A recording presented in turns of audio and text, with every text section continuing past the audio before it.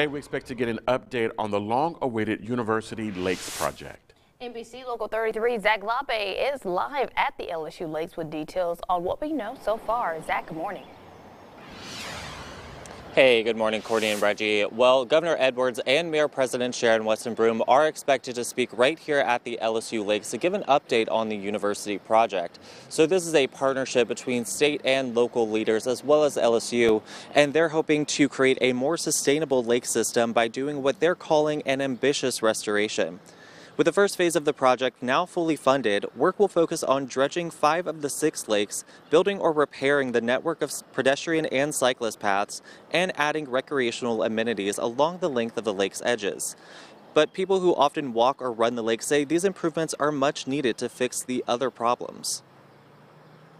It gets pretty hectic with the cars and, and pedestrians walking and running. After big storms, the the road is just covered in water and it's kind of hard to run through it all.